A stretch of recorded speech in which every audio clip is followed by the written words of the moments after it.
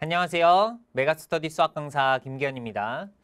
오늘 이 영상 N수를 결심한 여러분들께 제가 한 가지 말씀드리고자 하는 바가 있어서 준비 한번 해봤어요. 아마도 N수를 결심한 각자의 상황은 전부 다를 수 있겠죠.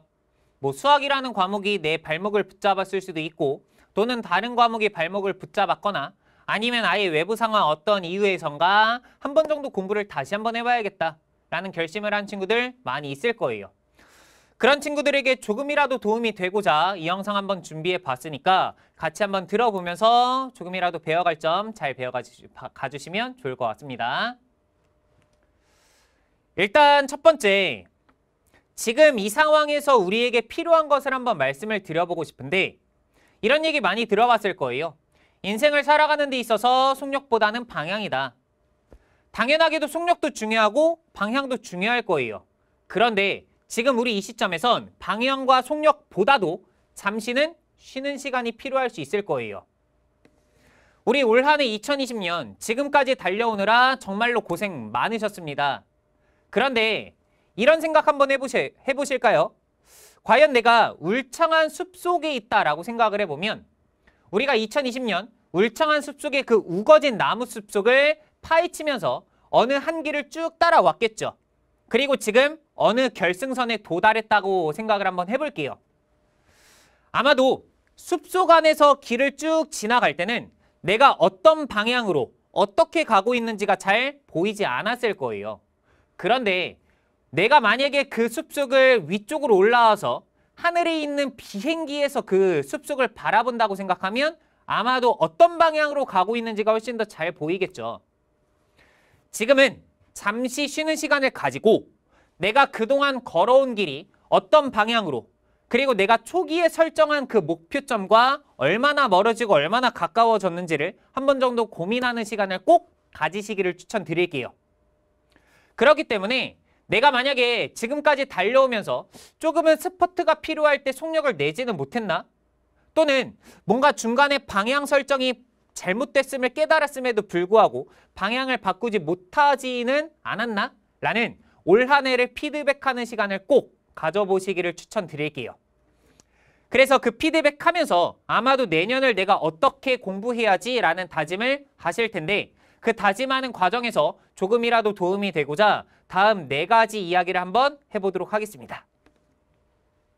첫 번째, 앞으로 우리 N수 생활에 가장 필요한 것 중 하나 우리의 자신감과 자존감이 될 거예요. 제 개인적으로 저는 이러한 말을 항상 머릿속으로 생각하면서 살고 있거든요. 내 자신을 내가 믿지 않으면 누가 나를 믿겠는가? 라는 나름의 생각을 갖고 있어요. 그 말인 즉슨 정말로 내 삶을 내가 살아가는데 내 자신을 내가 믿지 못하면 어느 누가 나를 믿어주겠어요. 그러니까 N수 다시 한번 우리 수능을 준비하기로 마음먹은 만큼 우리는 정말로 할 수 있다 라는 자신감을 갖고 시작하시면서 그리고 두 번째로 자존감 이게 어쩔 수 없이 수험 생활을 하면서 타인과의 비교가 들어갈 수밖에 없거든요. 당연하게도 인간이라 하면 타인과의 적당한 비교는 삶을 살아가는 데 있어서 원동력이 될 수 있다고 저는 생각을 해요. 그래서 아, 주변 친구들은 뭐 하고 있는데 어떤 친구들은 뭐 하고 있는데 아 나도 저렇게 하고 싶다 나도 저렇게 되어야지 라는 비교를 통해서 나 또한 열심히 살아야지 라는 원동력이 될 수도 있지만 그러한 비교가 과해지다 보면 자기 자신을 깎아먹게 되거든요. 그러다 보니까 뭔가 공부하면서 이런 잡생각이 많이 들 때가 있을 거예요. 아 나는 왜 다시 공부를 하고 있지? 라는 거에서 이제 고민이 출발하는 거죠. 그래서 아 내가 작년에 뭐라도 열심히 했다면 어떤 거라도 했다면 내가 어떤 대학을 가고 있을 텐데 뭐 수시연설을 정시연설을 어떻게 냈으면 이러한 잡생각들이 계속 끊임없이 물고 물고 물고 늘어질 거예요. 어쩔 수 없는 자연스러운 현상일 겁니다. 그런데 이러한 잡생각에 내 자기 자신이 침식되면 절대로 안 돼요. 그래서 제가 한 가지 추천드리고자 하는 바가 뭐냐면 아마도 앞으로 수험 생활하면서 이런 고민들 많이 들 겁니다. 그럴 때 내가 고민하고 있는 이러한 것들을 머릿속으로 추상적으로만 생각하지 마시고 내가 지금 어떤 생각을 하고 있는지에 대한 그 의식의 흐름을 직접 내 눈에 보이게 종이 한번 써보시는 거 추천드려요. 이게 왜 그러냐면 머릿속으로만 생각을 계속하다 보면 예를 들어서 A라는 고민에서 출발했으면 A에서 출발, B로 고민이 확장돼요. B에서 또다시 C로 고민이 확장되는데 C를 고민하다 보면 다시 A라는 고민으로 돌아오게 되거든요. 그러면 또다시 A, B, C, 다시 A, 또다시 A, B, C. 그런데 이걸 머릿속으로만 생각하다 보면 내가 계속 똑같은 고민을 하고 있다는 게 잘 느껴지지 않아요. 그러다 보면 시간은 시간대로 버리고 해결책은 해결책대로 생기지 않고 이것을 내 눈에 잘 보이게 종이에 한 번 정도라도 써보면 첫 번째 아 내가 고민하고 있는 게 솔직히 그렇게 큰 고민이 아닐 수 있겠구나 또는 아 내가 지금 고민하고 있는 게 지금 당장 해결책이 없구나 그러니까 지금 하고 있는 고민 자연스러운 현상이야 그러니까 그냥 그 고민 그대로 흘러가도록 나는 내버려 둬야겠다 라는 게 훨씬 더 시각적으로 잘 보일 수 있어요 그리고 두 번째로 가끔 이런 경험한 친구들 많지 않을까요? 뭔가 내가 고민이 있어. 그래서 아 이걸 친구들한테 얘기해야 되나? 그래서 내 친한 친구한테 내 고민을 털어놨어. 결과적으로 친구들한테 고민을 털어놨을 때 해결이 되지는 않았음에도 불구하고 야 그래도 A야 내가 너한테 그래도 이렇게 얘기하니까 조금이라도 속이 후련하다 라는 경험한 친구들 많이 있을 거예요. 내가 머릿속으로 생각하고 있는 막연한 생각들을 그냥 밖으로 내뱉는 것만으로도 의외로 큰 도움이 될 수 있다. 그래서 제가 오늘 이 캐스트 영상을 준비하면서 조금 많은 고민을 했던 이유 중 첫 번째가 일단 제가 수험 생활을 할 때 저는 현역으로 바로 대학교를 진학을 했거든요. 그러다 보니까 여러분들께 제가 이러한 이야기를 드리는 게 조금은 선을 넘는 것이 아닌가? 그러니까 경험해보지 않은 사람이 이런 경, 이런 조언들을 조금 어줍잖게 해도 되나? 라는 고민을 조금은 많이 했었어요. 그렇지만 그래도 저 또한 수험 생활을 하면서 여러 가지 고민을 했고 그리고 학생들을 그동안 가르쳐 오면서 엔수 친구들이 어떠한 경험과 어떠한 고민을 통해서 성공하는지를 봐온 입장에서 조금이라도 도움이 되고자 이런 영상을 한번 준비해 봤는데 그 과정에서 제가 수험생 때는 어떤 생각을 했었지? 라는 걸 한번 들춰봤거든요. 조금은 부끄럽겠지만 제 수험생 때 저의 플래너예요. 그래서 항상 그 당시에 제 이번 주 학습 다짐 또는 주간 평가들을 그냥 머릿속으로만 생각하지 않고 이렇게 한번 쭉 적어봤거든요. 아마 글씨가 잘 보이진 않을 수 있겠지만 뭐 매일매일이 시험 기간인 것처럼 그리고 뭐 중간고사 후 풀어진 마음을 다잡자 그런 식으로 뭐 일기식으로 이제 저 자기 자신에 대한 다짐을 조금 적어놨었어요. 이렇게 내 눈에 잘 보이게 이렇게 쓰는 것만으로도 정말로 큰 도움이 될 수 있다. 그러니까 나 자신을 믿고 자신감을 가진 상태에서 타인과의 적당한 비교는 자연스러울 수밖에 없다. 그렇지만 그게 과해지지 않을 정도로만 우리는 이런 식으로 자연스러운 현상임을 받아들이자. 그리고 나의 자존감 갉아먹지 말자. 라는 게 일단 첫 번째 조언이다 말씀드리고요.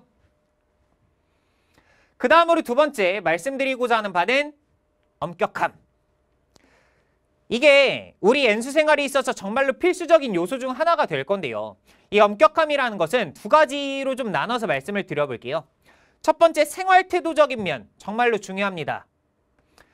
저 또한 그럴 수 있겠지만 많은 사람들이 자기 자신에게는 관대하지만 이제 다른 사람에게는 엄격한 사람들 정말 많잖아요. 저 또한 생활 태도에 있어서 뭔가 아, 나 어제는 열심히 했으니까 오늘 정도는 쉬어도 되지 라는 생각 갖게 되는 거 자연스러워요. 그렇지만 올 한 해를 다시 한번 피드백해 보면서 과연 내가 올 한 해 나에게 정말로 관대하지는 않았나? 뭔가 내가 빡세게 하고 계획을 짰음에도 불구하고 제대로 지키지 않은 날이 정말로 많지 않았나? 라는 걸 한번 되돌아보시기를 추천드려요. 그리고 두 번째, 공부하는 입장에서도 이 엄격함이라는 것은 정말로 중요한데 이게 엔수 생활하는 친구들은 가끔 이런 생각하는 친구들이 있어요. 우리 선생님 1년 동안 지금 우리 파이널까지 한번 열심히 공부했으니까 나 대략적으로 개념도 알고 기출도 열심히 풀었거든요. 그러니까 개념과 기출 건너뛰고 바로 문제풀이로 가서 문제풀이부터 빡세게 한번 해볼게요. 금지입니다. 금지예요. 당연하게도 우리가 1년 동안 만약에 열심히 공부했다면 개념과 기출이 완벽하다고 생각할 수도 있겠지만 다시 한번 개념과 기출을 되돌아보면서 아 내가 부족한 점이 이거였구나 완벽하다고 생각했지만 아닐 수 있겠구나 라는 걸 다시 한번 되돌아보는 시간 꼭 가지시길 추천드립니다. 그래서 공부하는 데 있어서도 아 당연히 예전에 썼으니까 넘어가야지 라는 생각 하지 말고 기본적인 것부터 차근차근 다시 한번 밟아 나가시기를 추천드려요. 그래서 생활적인 면과 공부적인 면 둘 다 엄격함을 유지하면서 한번 가져가 보자. 그래서 제가 고등학교 3학년 때 이제 저에게 나름 쓴소리라고 해서 이제 한 가지 이야기를 저에 대해서 썼던 것들을 한번 가져와 봤는데요. 잘 보이지 않을 것 같아서 한글로 한번 쭉 적어봤어요. 정신 차려라. 피곤하다고 힘들다고 바로 자버리는 그런 정신력밖에 없는 김기현이 아니었잖아. 100일도 안 남은 거 진짜로 후회 없이 한번 해봐야 되지 않겠냐? 라고 이제 저 자신을 조금은 질책하는 식으로 한번 적어봤더라고요. 얼핏 보면 오글오글 할 수도 있겠지만 그래도 내가 내 자신에게 기대하는 바가 있다 보니까 나에게 엄격해지지 않으면 정말로 목표를 이루기 쉽지 않을 수 있다는 점 꼭 명심하시기를 바랄게요. 그럼 이제 마지막으로 중요한 거 엄격하다면 중간중간에는 조금은 풀어줄 수 있는 휴식 시간 무조건적으로 필요합니다. 우리 수능이라는 거 장기적인 레이스라는 거 전부 다 아시잖아요. 게다가 지금 이 캐스트를 찍는 지금 이 시점 12월이거든요. 그러면 수능이라는 건 내년 11월, 11개월 정도의 오랜 기간이 남아있어요. 우리가 11개월 동안 하루도 쉬지 않고 계속 꾸준하게 공부하는 거 쉽지 않아요. 그렇기 때문에 중간중간에 내가 열심히 했다면 적절한 보상의 휴식 시간 무조건적으로 필요하다는 거. 그렇기 때문에 일주일에 6일 정도를 열심히 공부했으면 무조건적으로 하루 정도는 쉬시기를 추천드려요. 그래서 내가 만약에 월요일부터 토요일까지 열심히 빡세게 그리고 내가 세운 계획을 어느 누구에게도 부끄럽지 않을 정도로 살아왔다 라는 생각이 든다면 일요일 하루 쉬세요. 일요일 하루는 쉬셔야 그 다음날 월요일이 되었을 때 또다시 6일을 열심히 달려갈 수 있는 체력 관리가 되거든요. 그렇기 때문에 휴식 시간 잘 가져가시면서 괜찮으시다면 조금의 운동 같은 것도 같이 한번 하시기를 추천드립니다. 올 한해 수험생활 하면서 아마도 6월, 7월 정도 되면 체력이 급격하게 떨어지는 거 많이들 경험하셨을 거예요. 공부하려고 하는 의지는 있겠지만 체력이 뒷받침되지 않으면 이게 공부가 안 된다는 거 느낄 수 있잖아요. 그렇기 때문에 지금 그래도 조금이라도 체력이 있을 때 내가 나머지 6월, 7월에 체력이 떨어지지 않도록 지금부터 비축해 나간다라고 생각해 주시면 좋을 것 같아요. 대신에 여기서 간과하시면 안 되는 거 앞에 있는 김기현 선생님께서 선생님 일주일에 하루는 쉬라고 했으니까 저 일요일은 무조건 쉴게요. 이거에 대한 전제는 어떻게 될까요? 앞에 있는 6일 열심히 공부했다는 전제 하에서 그러니까 내 삶을 어느 누군가에게 보여줬을 때 아 너 정말로 너가 계획한 대로 열심히 살았다 라고 이야기할 수 있을 정도로 살아왔을 때 하루 쉬시라는 거죠. 내가 솔직히 6일 동안 내가 머릿속으로 생각했을 때 아, 나 이거 6일 동안 내가 뭐 했는지 모르겠어. 라는 생각이 들었다면 일요일 공부하셔야죠. 그러니까 내가 만약에 6일 동안 내 계획 열심히 세워, 세우고 그것을 정말로 잘 실천했다면 하루 정도는 쉬시라는 거. 그리고 두 번째로 휴식과 공부 절대적으로 독립될 수 있게 분리할 수 있으셔야 돼요. 놀 때 놀되 공부할 때 공부하셔야 돼요. 놀 때 놀면서 공부할 때도 놀면 안 되죠.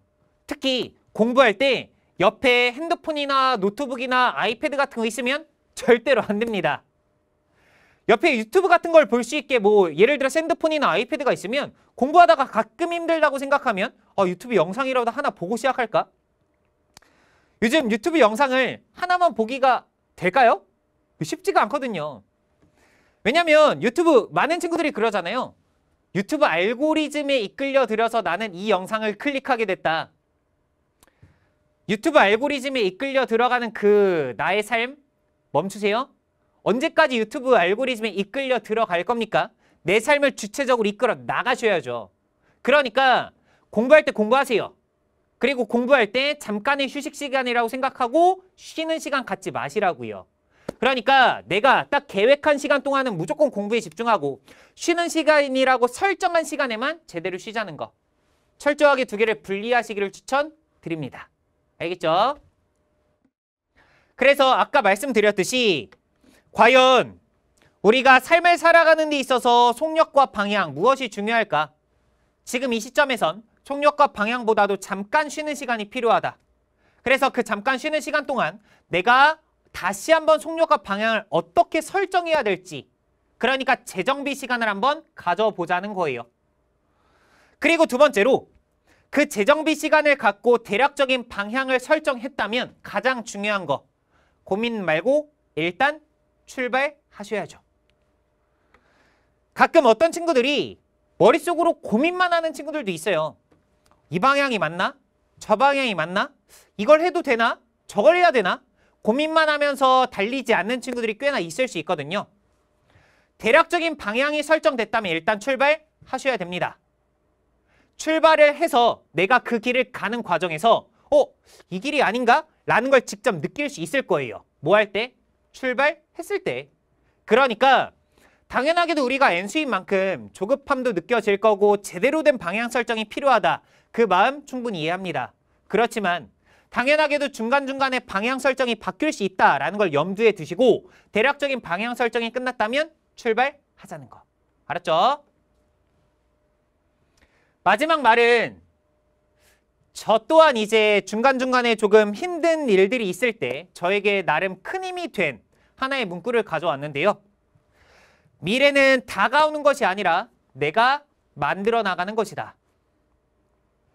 우리 수능을 다시 한번 공부하는 이 입장에서 많이 불안감 그리고 많이 조급함이 느껴질 거예요. 그리고 내가 과연 1년 동안 다시 한번 공부한다고 해서 내 목표를 정말로 이룰 수 있을까? 내가 열심히 공부했는데 수능날 또다시 성적이 잘 안 나오면 어떡하지? 이런 불안감 많이들 갖고 있을 수 있거든요. 그렇지만 그러한 수능이라는 미래가 다가온다 라고 수동적으로 받아들이지 마시고 남은 1년 동안, 남은 11개월 동안 내가 어떤 식으로 어떻게 하냐에 따라서 수능날에서의 결과가 달라질 수 있다. 다시 수동적으로 수능이라는 미래가 다가온다고 생각하지 말고 주체적으로 내가 만들어 나간다라고 생각하자는 거예요.